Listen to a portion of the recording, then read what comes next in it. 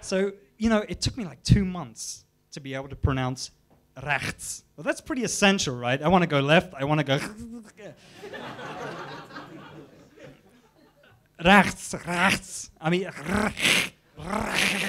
it's, it's, it's like, you sound like a retarded tiger. I mean, yeah, you've got like, it took me like two months to get this. I mean, your tongue's doing like fucking flips in your mouth. It's like uh, fucking uh, that's front to the back and uh, in and out and up and down. And it's like yeah, tongue gymnastics. After uh, after two months of that, my tongue was like a trained athlete. My girlfriend loves it.